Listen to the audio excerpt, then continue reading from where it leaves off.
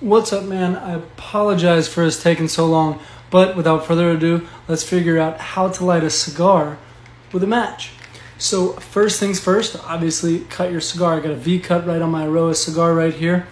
I like these long matches. They're very good because sometimes it can take a while to get the entire foot lit. That way, you don't have to use the whole box.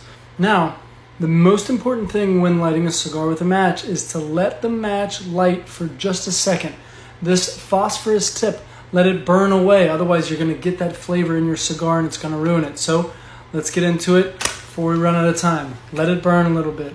Let it burn a little bit. And it went out. That is my least favorite thing about matches, guys, is they can go out, especially if you're outside or anything like that. But let that heat toast a little, a little bit and go ahead and take some puffs and enjoy.